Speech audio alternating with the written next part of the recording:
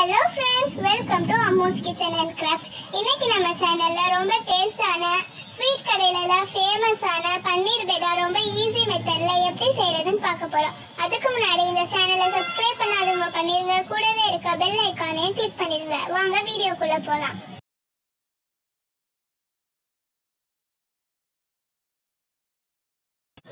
பன்னீர் பேடா செய்யறதுக்கு முதல்ல பாலை நல்லா கொதிக்க வச்சுட்டு அதுல கொஞ்சோண்டு லெமன் ஜூஸ் ஆட் பண்ணிக்கோங்க. அப்பதான் பால் நல்லா தெரிஞ்சு வரும். பாருங்க எப்படி தெரிஞ்சு வந்திருக்கு. இந்த மாதிரி நல்லா கொஞ்ச நேரம் அடுப்புல வச்சிருங்க. பாருங்க எப்படி தெரிஞ்சு வந்திருக்கு. இப்போ இப்படி தெரிஞ்ச பாலை இந்த மாதிரி ஒரு ஒயிட் கிளாத்ல வடிகட்டிக்கோங்க. வடிகட் பாருங்க நல்லா வடிகட்டியாச்சு இப்போ அந்த தண்ணியை ரிமூவ் பண்ணிருங்க.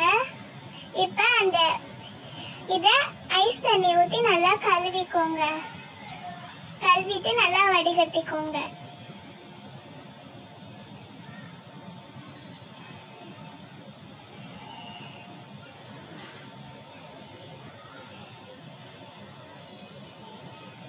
இப்போ இந்த இதை கொஞ்ச நேரம் அப்படியே விட்டுருங்க. அது ட்ரை ஆகட்டும். இப்போ பாருங்க ட்ரை ஆயிடுச்சு. எப்படி வந்திருக்கு பாருங்க.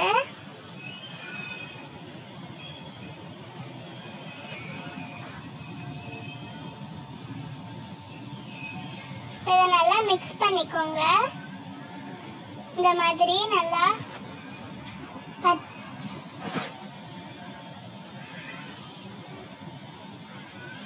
அதை கொஞ்சம் கையில் பிசைஞ்சுக்கலாம். அப்பதான் நல்ல கன்சிஸ்டன்சி வரும். இதில் கொஞ்சம் ஒரு கப் பால் பவுடர் ஆட் பண்ணிக்கோங்க. அப்புறம் கொஞ்சோண்டு ஜீனி ஆட் பண்ணிக்கோங்க. ஆட் பண்ணிட்டு நல்லா கையில் பிசைஞ்சுக்கோங்க. இதில் கொஞ்சோண்டு கண்டென்ஸ்டு மில்க் ஆட் பண்ணிக்கோங்க. கண்டென்ஸ் மில்க் இல்லாதவங்க பாலை நல்லா கொதிக்க வச்சு ஆட் பண்ணிக்கோங்க.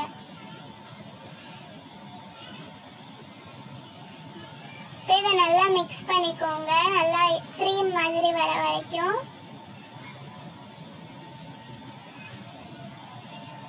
நல்லா மிக்ஸ் பண்ணிக்கோங்க.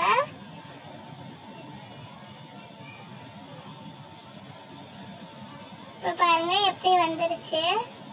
இப்போ ஒரு கடாயில நெய் ஊற்றிக்கோங்க மூணு ஸ்பூன் நெய்.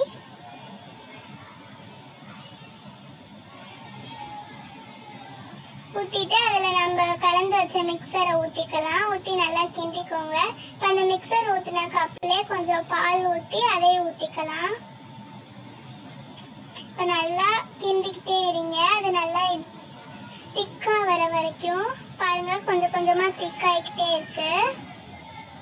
இப்போ இது நல்லா திக்காகி வந்துருச்சு. இன்னும் நல்லா கிண்டுங்க. நான்ஸ்டிக் தவால பண்ணீங்கன்னா இது ஒட்டாம வரும். நான் சாதா தவால பண்றதுனால இது கொஞ்சம் கொஞ்சம் ஒட்டணும். ஒட்டி வருது. இப்போ ஒரு தட்டில் நெய் தடவிக்கோங்க. உங்க கையிலேயே நெய் தடவிக்கோங்க.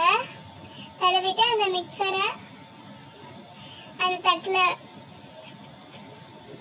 ட்ரான்ஸ்ஃபர் பண்ணிக்கோங்க.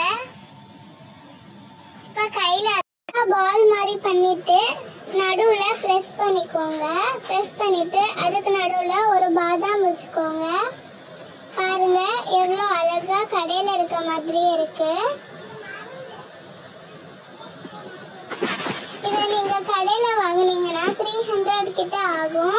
ஆனால் வீட்டில் ஒரு லிட்டர் பால்லையே எனக்கு பத்து பத்து பீஸ் கிட்ட வந்துச்சு. கண்டிப்பாக இதை நீங்கள் ட்ரை பண்ணி பாருங்கள் பாருங்க இப்போ எங்கள் குட்டீஸ் இதை எடுத்துகிட்டு போக வெயிட் பண்ணிக்கிட்டு இருக்காங்க. அவ்வளோ டேஸ்ட்டாக இருக்குது எவ்வளோ சாஃப்டாக இருக்குது பாருங்கள் நீங்கள் இதை ஒரு தடவை சாப்பிட்டா மறுபடியும் மறுபடியும் சாப்பிட்ணுன்னு தோணும். கண்டிப்பாக வீட்டில் ட்ரை பண்ணி பாருங்கள் தேங்க்ஸ் ஃபார் வாட்சிங்